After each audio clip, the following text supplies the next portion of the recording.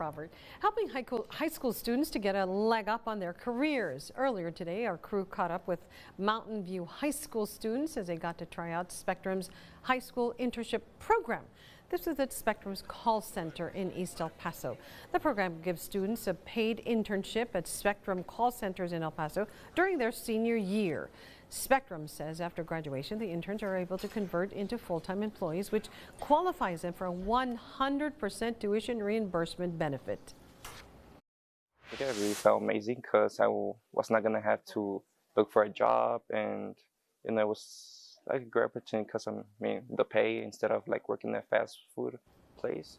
Spectrum says there are more than 300 higher education programs that their employees have access to through this specific program.